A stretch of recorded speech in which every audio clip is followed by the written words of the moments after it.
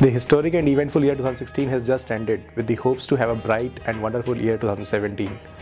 With the key decision of demonetization in the year 2016, everyone looks up to the government for the incentives that the government may announce for promoting digital economy.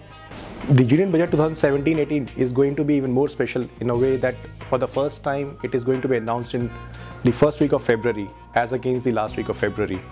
For corporates, the Finance Act 2016 has announced to bring down the rates from 30% to 25% gradually, considering the incentives and exemptions being enjoyed by the corporate taxpayers.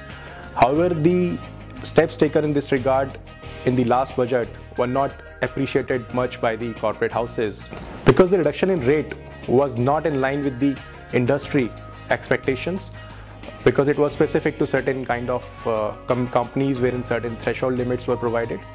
So the expectations would now be from this budget to have some tangible benefits in terms of reduction of tax rates for the corporates. There is a lot of ambiguity surrounding the concept of place of effective management. That is what we call in short POEM.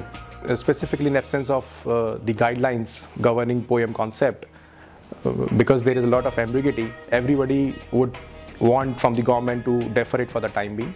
In order to promote non-adversarial tax regime, the government should relook into the provisions for uh, reopening the closed assessments and revision thereof. Uh, at present, the, there are certain discretionary powers which are being exercised by the lower level tax authorities. So those are to be closely monitored by the higher up authorities so that there is no harassment to the taxpayers in terms of reopening of closed assessments on one ground or the other. In this background, the government may consider deferral of GAAR guidelines also because it will further create the litigation environment. Thank you.